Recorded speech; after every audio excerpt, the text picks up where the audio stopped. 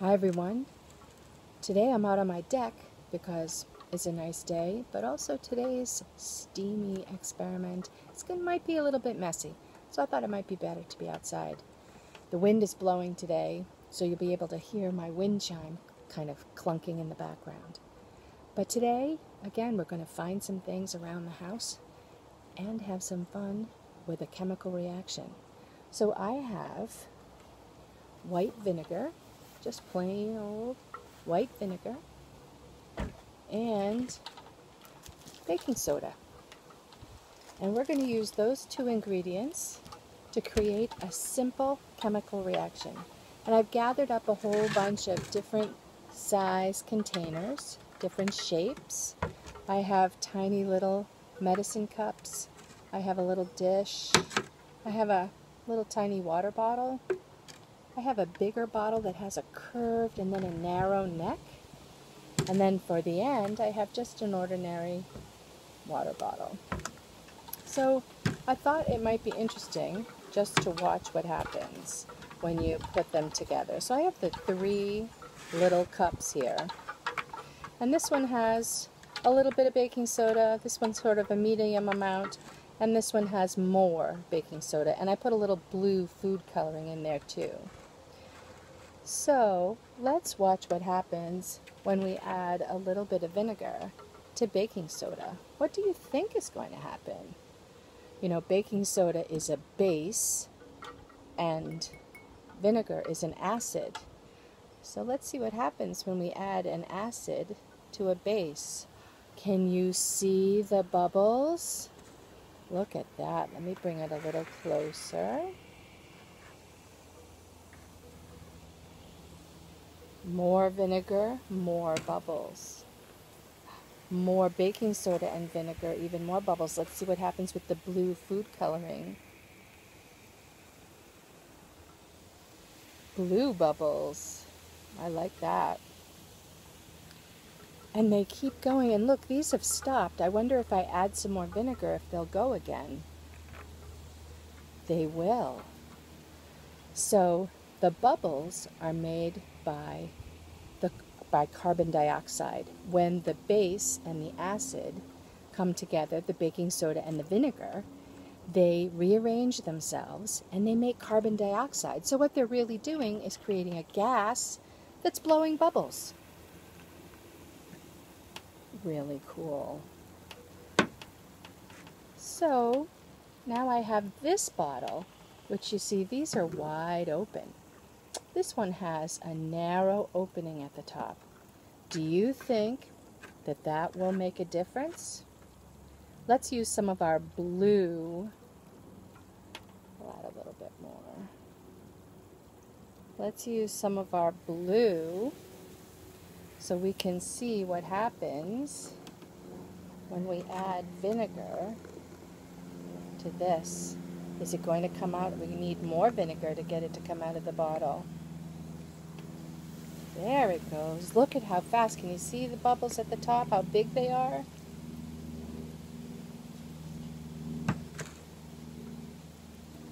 Now, here's an experiment to try. I have some dish soap. I wonder if that changes anything. Let's try adding a little dish soap and then adding some more vinegar. And let's see if the dish soap, what do you think will happen if we add dish soap? Since we're blowing bubbles with carbon dioxide, what do you think will happen? Are we getting more bubbles? I wonder if we need a little more baking soda. Let's take a spoon. Look at it. It's coming right out the top. And it's just going, going, going. Wow. Do you think it'll keep going for a long time? Look at that. And I don't know if you can see, I'm going to bring the camera a little bit closer and I'm going to pick up the bottle. You can see the bubbles moving inside the bottle. spilling them out over the top. Reminds me of one of those mad scientist experiments in the movies where the bubble the beakers are bubbling over the top all the time. Maybe that's how they did it. That is really cool. We'll just have to see how long that keeps going. Well, I have another big bottle here. Should we add some soap to this one too? Let's try it. This one's really big. And it has a very narrow neck. So I wonder how this one will do. How much more we'll have to add to get it to work. This one's green. Let's see if we can get it going. Can we get it going? Let's mix it around a little. Wow. Here it comes. Look it. Right out the top. Whoa. So cool. And I'm going to bring it closer so you can see all the bubbles inside. Wow. And look, our little bottle is still going. Doesn't show any signs of stopping. And now we've got a really big bottle going. Well, I have one more fun thing. I haven't tried myself, but someone told me one time that they thought they could blow up a balloon. Now, I don't have any balloons around the house, but I have some gloves. Maybe you guys have some gloves at home. So I put some vinegar in my bottle. I'm going to move the green bottle out of the way. Just like that. I put some vinegar in the bottom of my bottle. And in my balloon or my glove, I'm going to put some baking soda. So I have a spoonful of baking soda. And then I'm going to put this over the top of the bottle.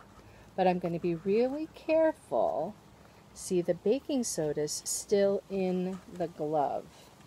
It is not going into the bottle. Not yet, anyway. And I'm going to use a rubber band to hold the glove onto the top of the bottle. I think that's a good idea because we don't want it to fall off and we don't want any air. So now we have vinegar in our bottle and we have baking soda in our glove.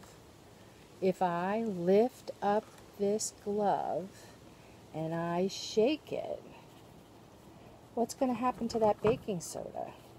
Well, we're hoping it's going to fall down into the bottle. Let's see if we can get it to do that. Let's see if we can get it to do that. Right into the bottle it goes. And look, if I hold that glove on tight, look what's happening. Look at what's happening. It's blowing up the glove like a balloon. If I add some more, do you think we can make it bigger? Make it stand up? See, there's some more baking soda in here.